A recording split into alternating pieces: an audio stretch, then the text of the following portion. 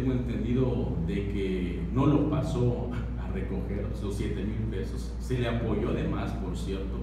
Fue uno de los eh, candidatos de la planilla y del equipo que se le apoyaba hasta donde se podía, con lo que había del partido, que era muy, pero muy poco. Es parte de sus estrategias perversas, pero que nos acusen de robar, pues a las pruebas nos sometemos, que nos acusen y que nos los demuestren más.